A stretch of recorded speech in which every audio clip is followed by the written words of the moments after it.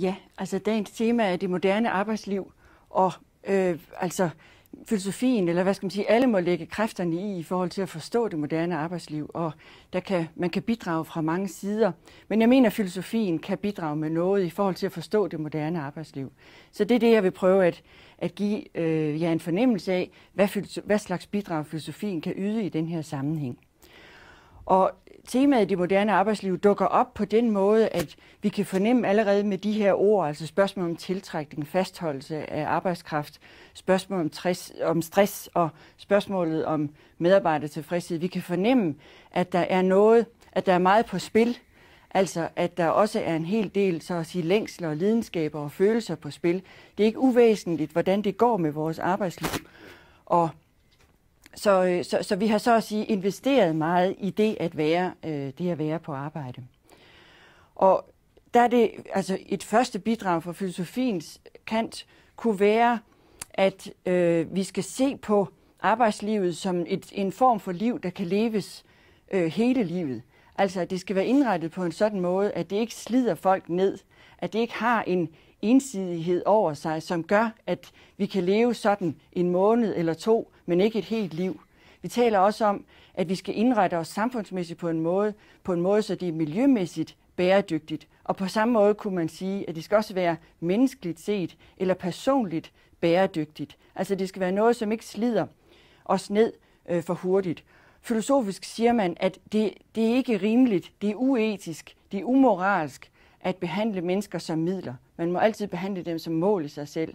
Altså det er sådan en tanke, at man kan ikke have nogen, der går rundt og arbejder, og så at sige tjener andre, og kun tjener andre, og slider sig selv op derved. Altså man kan ikke på den måde bruge menneskeliv i, øh, hvad skal man sige, en højere sags tjeneste, eller i effektivitetens, eller i samfundsmæssighedens tjeneste. Hvert liv har så at sige en, en værdighed, og skal ydes en form for respekt. Så det her mere sådan øh, individuelle perspektiv, der kunne man sige, vi taler også om, at der skal være en balance mellem liv og arbejde. det, er ikke, det er ikke på den måde, at vi skal så at sige leve livet efter arbejdet. Det er ikke det, der menes med det. Men at, altså, jo, det er også det, at vi skal kunne gå hjem og have en slags fritid. Men faktisk arbejder vi jo mindre og mindre. Altså, vi har tidligere i historien arbejdet betydeligt, betydeligt mere, end vi gør. Men med det, der ligger der egentlig snarere noget med, at store dele af vores livs forventninger efterhånden er knyttet til det arbejdsmæssige. Altså hvordan det går med os, om vi synes, vi så at sige havner på den rette hylde, finder os selv, oplever en form for selvudfoldelse og selvrealisering. Det kommer også an på, hvordan det går med, vores, med vores arbejde.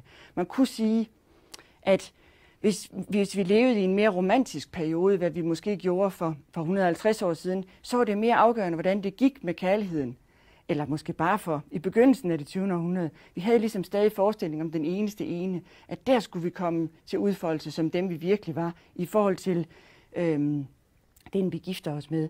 Der er der lidt mere, der er der et element af i det moderne arbejdsliv, at vi egentlig, øh, hvad skal man sige, ret ensidigt knytter vores oplevelser af lykke til, hvordan det går, øh, hvordan det går med arbejdet. Så fra nu af vil jeg prøve at, at pege på hvad skal man sige, farerne for ensidighed i vores arbejdsliv, ved at gå en mere positiv vej og pege på de forskellige elementer, jeg mener indgår i det at, øh, at være på arbejde. Altså ud fra en grundlæggende tanke om, at det ikke kun er det at få, at få en løn, eller hvad skal man sige, få løn for at gå på arbejde, at kunne øh, have en familie, have et sted at bo, have nogle grundlæggende behov tilfredsstillet, mad på bordet, et sted at sove osv. Det er ikke kun det, der ligger i det at, øh, at arbejde. Det er ikke kun det at få at få penge. Vi har faktisk lykkeforventninger knyttet til det arbejdsmæssige. Så det er altså min, min begrundelse for på den her måde at bringe ikke blot filosofien ind, men sådan set livsfilosofien, det vil sige filosofiens bud på det gode liv og på lykke bredt forstået. Altså at vi har lykkeforventninger knyttet til arbejdet.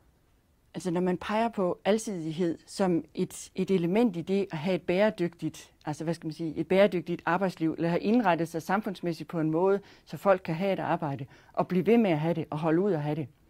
Altså når man peger på den der alsidighed, så synes jeg, at man fra filosofiens kant skylder ligesom at fortælle om nogle af de elementer, som øh, skal til for, at alsidigheden er der. Øh, jeg synes, det er klart, at det arbejdsmæssige er særligt ved, at det er der, vi koncentrerer os. Det er der, vi samler os. Det er der, vi møder nogle udfordringer, hvor vores talenter, uddannelse, kompetencer, egenskaber kan komme til udfoldelse. Det gør vi ved, at vi har nogle bestemte opgaver, som vi er ansvarlige for, og som vi løfter, og som vi løfter sammen med andre, og som vi er koncentreret om, og vi så også ikke begynder at drømme om alt muligt, eller giver os til at holde pause midt i, hvor opgaven skal løses. Så den der øh, evne til at, at samle sig og være optaget af en opgave, det, det er noget af det, som vi lever ud i arbejdet, og også gerne skal, skal magte i arbejdet. Men på samme måde, det skulle også gerne være sådan i løbet af en dag, at vi har samtaler. Der kan være samtaler, som blot handler om at få koordineret den fælles opgave bedst muligt. Men der er også samtaler, som handler om, at vi i de samme opgaver ikke altid kender svaret på forhånd. Altså der ikke er sandt eller falsk. Der kan være noget, der skal drøftes. Altså der kan være flere forskellige, flere mulige veje til den samme opgaveløsning. Og der bruger vi samtalen til at egentlig at udveksle vores opfattelse af virkeligheden med andre mennesker. Så kan man sige, at samtalerne kan også foregå på en mere legende måde. Vi har humoren som en vigtig del af, at man bryder sig om at gå på arbejde og har et godt arbejdsliv. At der er sådan en, en humor, eller hvad skal man sige, en, ord, en ordudveksling med ens kolleger, sådan lidt en pingpong. Så der kan samtalen faktisk indimellem antage karakter af leg. Det kan se mærkeligt ud, at øh, jeg sætter leg på som et uomgængeligt og universelt menneskeligt træk, som skal kunne komme til udfoldelse, også i vores arbejdsliv. Det er ikke fordi, jeg mener, at man nødvendigvis skal, skal lege i løbet af dagen. Der er sådan set mange arbejdspladser, som har indrettet legerum, hvor det er muligt simpelthen at kaste alle opgaver øh, fra sig og gå ind og lege, spille bordfodbold eller sætte sig i bløde stole, eller hvad det måtte være. Men med det mener jeg egentlig ikke, at vi nødvendigvis skal gå ind og i andre rum og lege sammen, eller at vi skal tage på firmatur og, og så videre og lave sport sammen. Med det mener jeg egentlig, at det legende element gerne skulle optræde i løbet af en arbejdsdag. Jeg mener, at det findes i det opgavemæssige, hvis man er god til det, man gør, hvis man har en vis suverænitet, en vis ekspertise i forhold til det, man gør. Altså at man så at sige kommer med sine talenter og egenskaber, og så er der et slags gensvar fra opgaven. De egner sig, de passer godt til. Opgaven byder en at, og kalde endnu mere frem af de talenter og egenskaber, man har. Så kan det være sådan, sådan, sådan en særlig pingpong. Mit eget arbejdsliv er filosofens arbejdsliv, og der kan tekster så at sige være svære at gå til. Filosof, filosofiske øh, værker kan være utilgængelige, og så pludselig åbner det sig, og så kan så at sige læsningen og også tankearbejdet komme til at gå som en leg. Det er også det, som jeg skal prøve at vende tilbage til det om lidt. Vi har det beskrevet øh, også blandt øh, psykologer som et øh, flow-fænomen, altså den der form for lejende øh, udveksling med, med verden. At man får noget igen, man føler, at der er en slags respons fra, fra tingene, som bringer en videre. Det lejende kan som sagt også indgå i samtalen, en pingpong. Man taler om ingenting, men man har bare sjov ud af på den måde også at lege med ord. Så jeg mener, det, det er uomgængeligt, at det også er en del af det arbejdsmæssige. Det sidste, jeg synes, man skal have frem, er eftertanken. Og det er i virkeligheden min pointe, at det er noget af det mest trængte. Det er noget af det, vi værdsætter, eller hvad skal man sige, som den måde, vi har indrettet os arbejdsmæssigt på, har givet mindst plads. Med eftertanke mener jeg egentlig blot, at der skal gerne være øjeblikke i løbet af dagen, hvor vi ikke er opgavemæssigt for langt, og vi, hvor vi måske ikke nødvendigvis er i samtale med andre, men kan trække os tilbage, kan stoppe op og tænke efter, og tænke over, hvad det er, vi gør, Øhm, eller måske endnu prøve at se den, den opgave, vi har fået i et lidt videre perspektiv, et bredere perspektiv. Det kan være, at vi i skolelærer har med elever at gøre, og så lige har brug for at gå for os selv, for egentlig at tænke nærmere over, hvordan er det med den her, det her barns forældre? Hvad er egentlig vedkommendes forhistorie? Altså hele det der, hvad skal man sige, tankerum, vi kan gå ind i, hvis vi ikke er handlingsmæssigt for langt her og nu og ikke har en opgave, altså ikke skal få en klasse til at tige stille, men, men altså at sige ude af det og kan tænke over tingene. Men det er, en, øh, det er noget, der kan foregå i pauser. Det er også noget, der kan foregå i en udveksling med andre, altså i en samtale, som har den der supervisionskarakter, eller eftertænksomheds- eller udvekslingskarakter. Men vi er ikke altid gode til at give den plads. Den er ekstremt svær at, øh, at øh, kontere på en kunde. Altså det er jo mange menneskers arbejdsliv, øh, betingelse, at alt, hvad du laver, skal du kunne sige, gå, kunne gå red for, hvem der skal betale for det. Det er meget svært at sige, hvem der skal betale for det her. Øhm, nu har jeg prøvet at pege på, hvad der ligger af typer af aktivitet. Altså, vi er aktive, mens vi er på arbejde, og vi er det på en koncentreret opgave for langt måde, på en samtale, i en samtaleudveksling med andre, på en lejende måde og på en eftertænksom, reflekteret måde. Det vi så, når vi er for langt på den måde, har den slags opgaver, hvad er det egentlig for personer, vi så udvikler gennem det arbejdsmæssige? Og det vil jeg sige, vi udvikler først og fremmest en modenhed. Med modenhed mener jeg, at, at hvad skal man sige, vi bliver nogle personer, som andre kan læne sig op af og stole på. Fordi vi ikke løber efter det, børste, det første, det bedste ønske, som vi har, eller den første, den bedste øh, drøm, som vi kan komme i tanke om. Altså, at vi kan, vi, vi taler også i psykologien om, at man kan udsætte sine umiddelbare behov. Det kræver en vis modenhed. I, I livsfilosofien, som jeg her tager udgangspunkt i, taler man om, at man skal have et brudt forhold til sin egen natur. Altså, at der er nogle naturmæssige tilskyndelser, nogle ting, man er, er naturligt får lyst til at gøre, men modenhed er så, at man indimellem de naturlige tilskyndelser putter nogle overvejelser over, går det an her og nu? Er det det, der på længere sigt er det, jeg gerne vil? Øh, eller skal jeg vente lidt med det? Eller er der nogle andre mennesker, hvis liv jeg kommer til at ødelægge, hvis jeg forfølger mine personlige ønsker og mål og drømme? Der er sådan en modenhed, som altså øh, som, som kommer af nogle arbejdsmæssige udfordringer, som kommer af, at vi har kolleger, og, og, og, og som, kom, som, hvad skal man sige, som resultat giver, at, at andre mennesker godt tager stole på os. Så er der også i den lidt bredere forstand, at vi bliver nogen til at, stå, der, til at stole på på den måde, at vi kan være ansvarlige. Altså at vi, at vi ligesom tager en, tager en opgave alvorligt, tager den på os som vores egen, øh, gennemfører den på en måde, så, så, så, det, kan, så det kan afsluttes, og, og alle kan have, kan have fornøjelse af det. På den måde kan vi opnå en form for øh, ansvarlighed i vores tilværelse gennem det arbejdsmæssige. Så har jeg også ville sige, at vi får ikke blot modenhed og ansvarlighed, vi får også personlighed. Altså det skal gerne være sådan, at de roller, vi indtager på arbejdet, det ansvar, vi bliver pålagt, den profession, som vi øh, bestrider, når vi er på arbejde, at vi, at vi er i den rolle, er professionelle på en måde, hvor man stadig kan se det os. Altså hvor vi ikke er anonyme, og hvor, vi, hvor man kan se, at, at vi er til stede på en måde, hvor vi også hvad skal man sige, ja, er levende, øh, og, og øh, ja, i, i en levende udveksling med tingene og, og med, med, øh, med andre mennesker. Det er ikke så rart, når folk går op i deres arbejde eller op i deres profession på en måde, hvor de er, går restløs op i den, altså hvor de er fuldstændig identiske med den. Vi har i eksistensfilosofien et godt eksempel hos Sartre, der beskriver en tjener, som er lidt for meget tjener. Han overgør bevægelserne. Han er så at sige tjener i enhver henseende. Han er sikkert også tjener, når han går hjem. Og det duer ikke. Det er det, der er ulykke i. Det er ikke det gode arbejdsliv, at man aldrig kan, kan være andet end den, man synes, man skal være på arbejdet. Altså, så, har jeg, så synes jeg, at øh, altså, der er forskellige hvad skal man sige, filosofiske værker, som kan, som kan belyse det her, den chance, det er at gå på arbejde, og den form for identitet, som man opnår på arbejde. Jeg har taget en politisk filosof med, Hannah Arendt, som jeg synes har et særligt fint blik for det, som den hvad skal man sige, som den udadvendte tilværelse, som det, at vi kommer hjemmefra, går ud af det private og ud i det offentlige. Den chance, der, der ligger deri. Nemlig, at altså, vi, tager, vi tager noget særligt tøj på, vi tænker over, hvad tøj vi tager på. Vi, vi gør noget ud af det ydre, og når, og, og når vi gør det, så det, har de selvfølgelig ikke så at sige politiske grunde, men det er bare begyndelsen til at træde ud af det mere hjemlige, det trygge, det vante, og ud og, og, og så at sige være også være sine synspunkter voksen og være redde til at forsvare sine synspunkter. At på den måde være et holdningsmenneske. Det, det er altså det er noget af det, som vi ikke kun lever ud som vælgere og som samfundsborgere og som politiske forbrugere. Vi lever det faktisk også ud på arbejdspladserne. På den måde mener jeg, at der er det, arbejdspladsens offentlighed er en af de væsentligste offentligheder, vi overhovedet bevæger os i, og vi kan ikke godt undvære den. Selvfølgelig må den ikke, hvad skal man sige, øhm, den må ikke træde fuldstændig i stedet for den, den egentlige politiske offentlighed, hvor vi diskuterer politiske emner, men vi har en, en offentlig øh, side af vores liv, som, som leves ud i det arbejdsmæssige.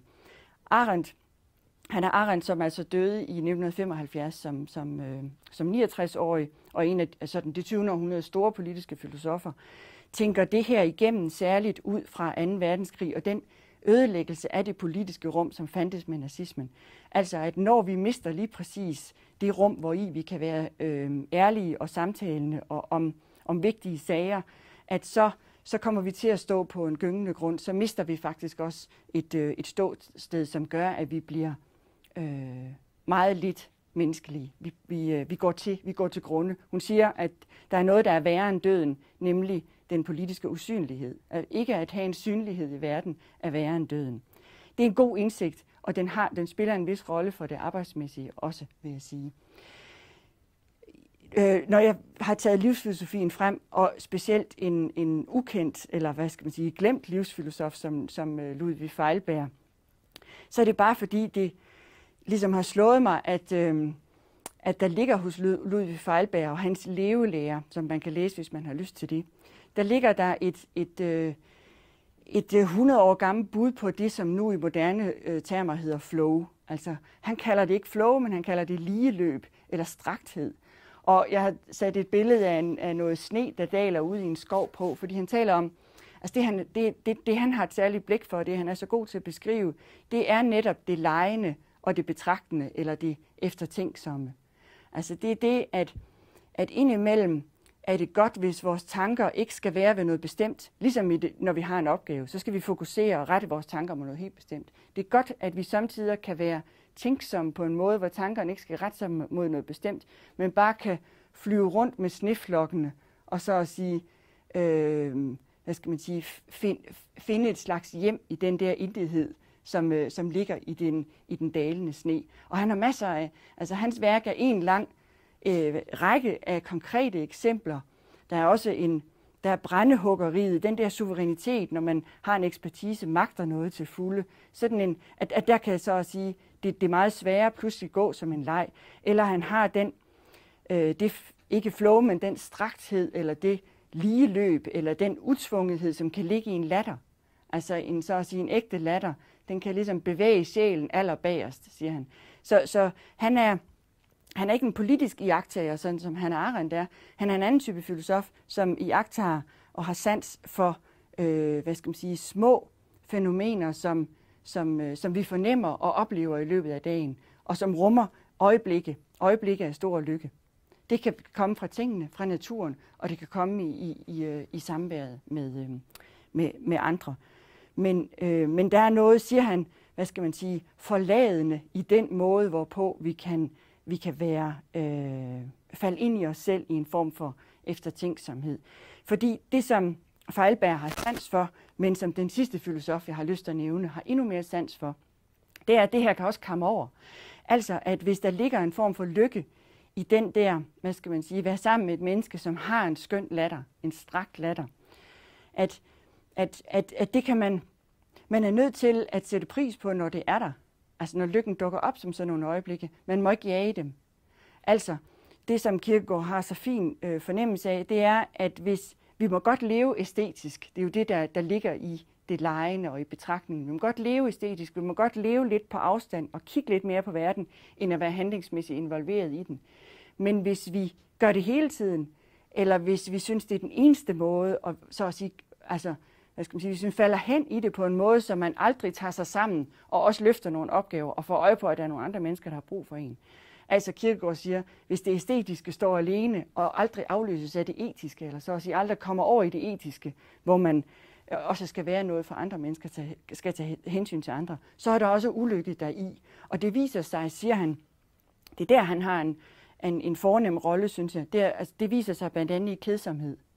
Hvis, hvis vi så siger på jagt efter de øjeblikke af, af stor lykke. Og sådan kan vi også godt gå lidt til vores arbejdsliv. At vi synes, at hvis ikke der er den der pingpong med kollegerne, øh, øh, så skynder vi os at skifte arbejde. Altså vi vil være et sted, hvor der, hvor der hele tiden øh, hvor der hele tiden er stor så at sige, tilfredsstillelse af de der øh, ønsker, man, man har. Sådan en jagt på lykke er ikke er, er, er der altid ulykke i, og det er det, Kirkegaard synes jeg kan, kan beskrive så fint, og hvad slags, altså hvis man skulle svinge sig helt op, så kunne man sige, at der er ikke nogen, der har beskrevet stress bedre end Kirkegaard. Altså, han, man kan ligesom indefra se, hvordan det er kedsomhed, det er restløshed, og det er øh, alt, hvad de rummer, altså at sige øh, depressive, depressive følelser og, og, øh, og stemninger.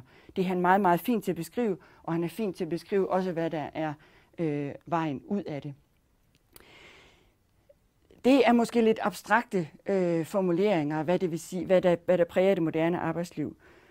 Når jeg synes, det er øh, spændende som filosof at tage det op, er det også fordi, jeg har været ude og spørge folk. Altså, øhm, der er faktisk virksomheder, som har henvendt sig til øh, universitetsfolk som mig og spurgt, hvordan tiltrækker og fastholder vi de rette, de rigtige medarbejdere? Hvad skal vi gøre for at få dem? Er det mere i løn? Er det mere i pension? Er det frugtordninger?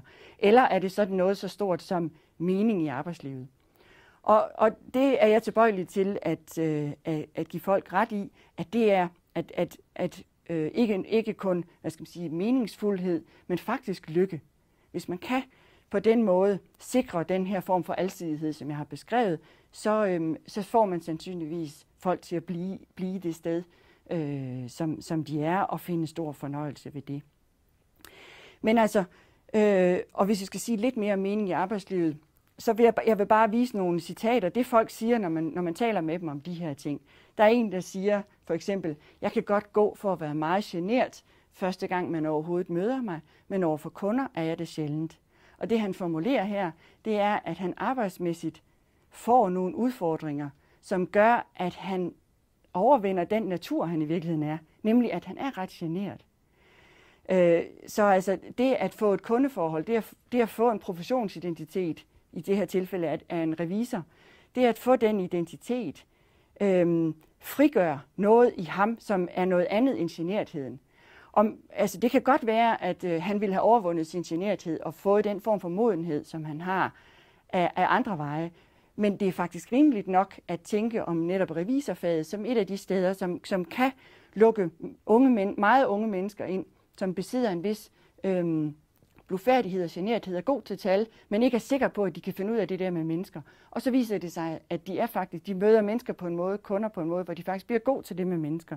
Så man kan se, det her det er blot at sige, at et godt arbejdsliv er der, hvor mennesker, som ikke er optaget af at udvikle sig selv og realisere sig selv, men som har en naturlig forventning om, at generet har jeg ikke lyst til at være hele livet. Jamen der skal man skabe nogle tilpasse udfordringer for den her unge fyr, sådan at han øh, måske stadigvæk i bund og grund er lidt generet, men han har situationer i løbet af dagen, hvor han oplever, at den generthed ikke er i vejen, og hvor han faktisk kan være meget øh, hjælpsom professionel i forhold, til, i forhold til kunder. Så det er blot at sige, at arbejdslivet er blevet så vigtigt, fordi vi er mennesker, som fødes ufærdige. Og det skal først vise sig hen ad vejen, hvad slags talenter og egenskaber vi egentlig besidder, og hvad det kan blive til med os, og hvad vi kan udvikle os til. Det, men, men når man har den slags forventninger, så er det klart, at hvis man vil holde på sådan en fyr, så skal man jo skabe de rette rammer. Han, han skal have en slags hvad skal man sige, sikkerhed under sig, så det ikke bliver ubehageligt for ham. Men samtidig, han skal have nogle udfordringer, sådan at han oplever de her vellykkede kunderelationer, som er så afgørende for, at, at det lykkes. Øhm, det vi også kan sige er, at øhm, det, skal, det skal også være sådan, det, man skal ikke blot udfordres, men det skal også være sådan, at man øh, oplever at være god til, til sit arbejde. Altså en revisor kan sige det her, jeg er god til tal, ellers ville jeg ikke sidde her. Altså et lykkeligt arbejdsliv, et meningsfuldt arbejdsliv, er også det arbejdsliv, hvor man har kommet på rette hylde. Man har fundet sit rette element. Altså, jeg var god til tal, og det her, det handler meget om tal, og her kan jeg godt lide at være. Så vi skal ikke dagligt hele tiden udfordre os og overskride vores egen, hvad vi i bund og grund er for nogen. Vi skal også have den der fornemmelse af, at her hører jeg hjemme, jeg behøver ikke at anstrenge mig. Der skal være noget uanstrengt. Det var det, jeg prøvede at beskrive som en slags pingpong med verden, hvor tingene bare lykkes. Og så det sidste, jeg vil pege på, som folk kan finde på at sige, når man taler med dem om det, om det meningsfulde arbejdsliv. Det er sådan noget som frihed under ansvar, formuleret på den her måde, så vi styrer selv vores tid, bare tingene bliver lavet. Der er altså en stor fornøjelse i at få et ansvar, som man løfter på en, på en, selvstændig, øh, på en selvstændig måde, og hvor der også er en ledelse, der tager overlade en en opgave, som man så øh, forsøger at være, at være så, så, så voksen som muligt. Så det er ikke kun, arbejdslivet skal ikke kun rumme, at man ligesom smelter sammen med tingene, smelter sammen med andre, finder stor øh, fornøjelse i at være i en humoristisk udveksling med andre. Det skal også være sådan, at man ligesom får nogle klare grænser, øh, oplever sin egen frihed, selvstændighed og, og ligesom kunne selv og stå og stå på egne ben. Det er også noget af det, af det afgørende i, øh, i det at få et meningsfuldt arbejdsliv. Så hvis vi skal samle op på den her øh, fremstilling af, af, af alsidigheden i, de, i det moderne arbejdsliv, filosofisk set, så kunne man sige, at vi skal gerne øh, erfare en mening både i det velkendte, altså vi kan være naturlige, vi kan være os selv, vi har en ekspertise, vi gør fyldest, øh, og, og vi kan være uanstrengte, og vi kan være simpelthen bare gode til det, vi gør.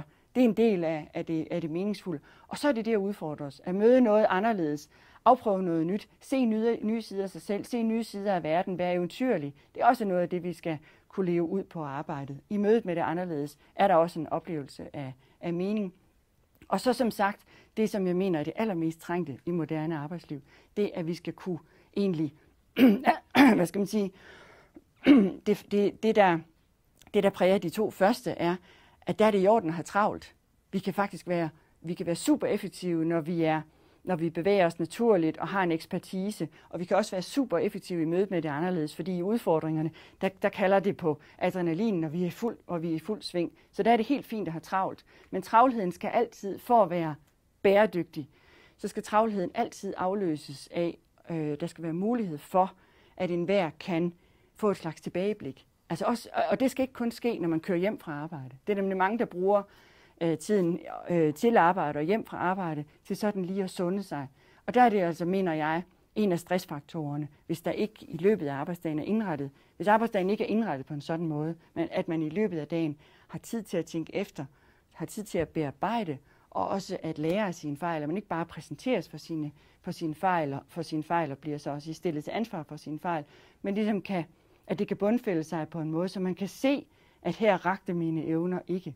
Øh, øh, og, og, og sådan vil jeg så at sige forbedre mig, eller her skal vi som team tænke, tænke anderledes eller tænke nyt. Så, så her er der en slags pause og, og refleksion efter tænksomhed, som jeg mener er, er grundlæggende trang, trængt, og som er, øh, altså uden det sidste, så er travlheden ekstremt øh, stressfremkaldende.